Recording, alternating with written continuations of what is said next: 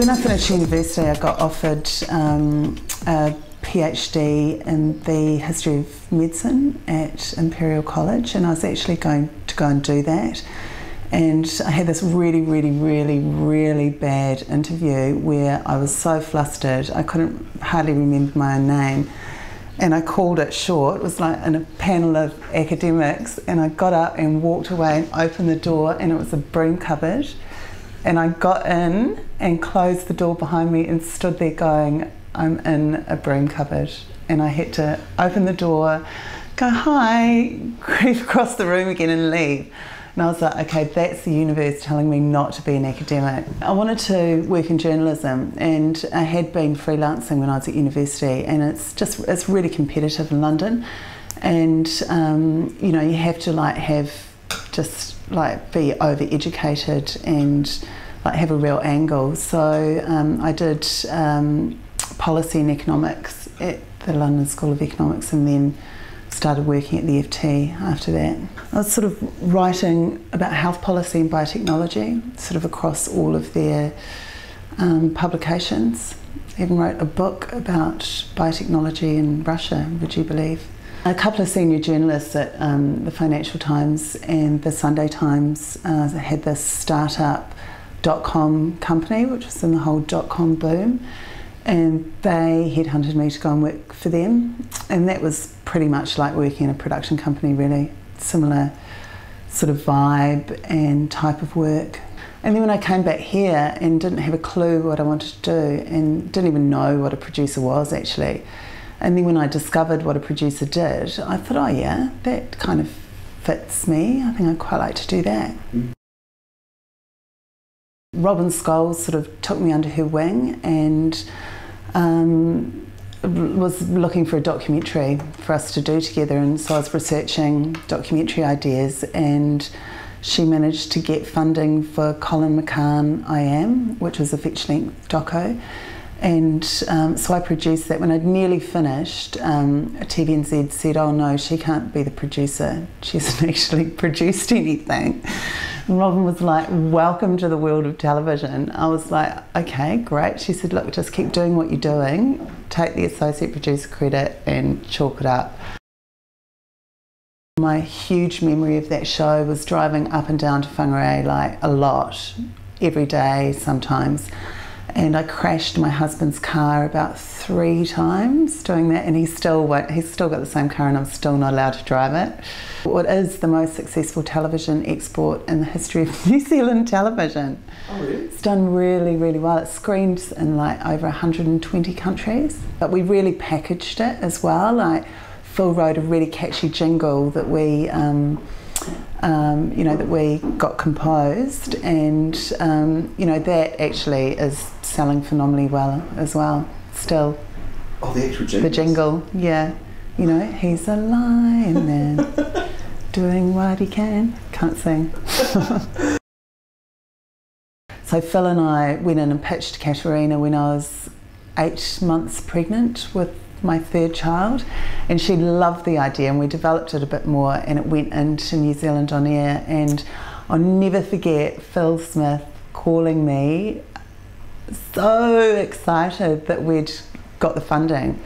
And I had like, I, my baby was like five days old. I had this just this whole sinking feeling of, oh my God, because we had to turn it around really quickly. And um, we had like six weeks to develop the scripts and then shoot it and we were delivering it and it was on air while we were still shooting and cutting actually. It was incredibly fast turnaround. So I got off the phone and went and said to my husband how do you feel about moving down to Queenstown next week my poor baby spent the first few months of her life um, under my desk and I learned how to how to type like this. Truant, um, yeah, was my first producer credit, and um, you know, I really didn't have much of an idea what I was doing, um, but I'm so proud of that film. it's beautiful and it still really stands up. Short films are really, really important for producers because they teach you um, the nuts and bolts side, side of, of making drama. And, you know, once you get to a, a certain budget level, you always have a line producer, but to really effectively, creatively produce, you need to know how to balance the sort of the fiscal and the creative. You know, Truant was a really amazing learning curve for me. That was an incredibly ambitious shoot. Um, I don't know if you've seen the film, but the uh, visual effects are incredible. I mean, it's fog, fog, water, and teenage sex. This was, you know, I don't know, quite not easy, and um, you know, it's amazing. It's a beautiful film. Apron Strings was an incredible experience, just in terms of um, the production was just an absolute dream. Nothing was an issue. There were no issues. It's almost like there were no fires to put out, which is um, unusual for a producer.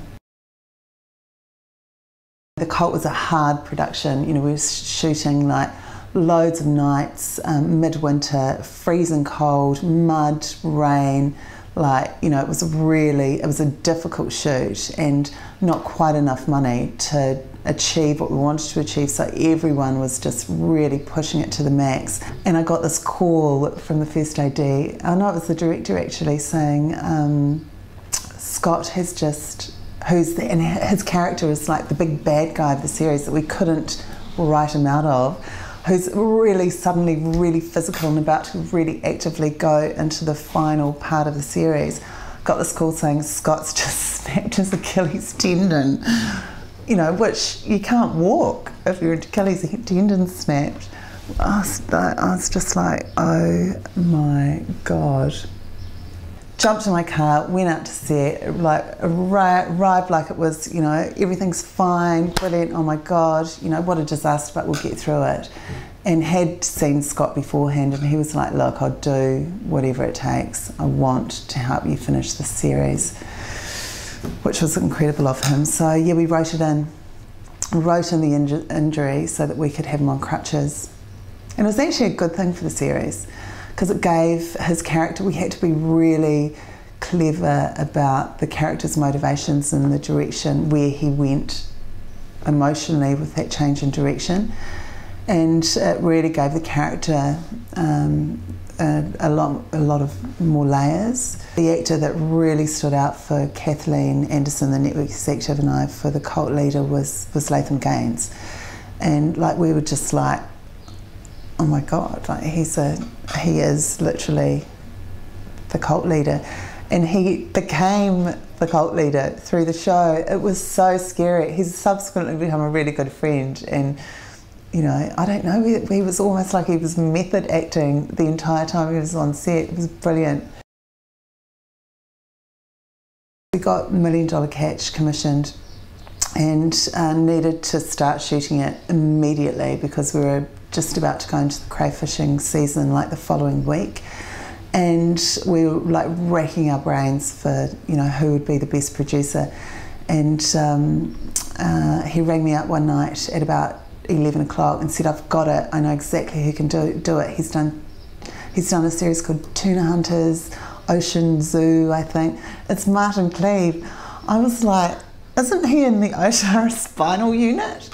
Like Martin literally had broken his neck like not that many months earlier and had been in the unit paralysed for months. The poor guy was just like literally out of the unit, sort of doing his physio, getting back on his feet again. And Phil rings him up saying, Hey, how about going down to Bluff and just shooting a show on some crazy, crazy crayfish boats?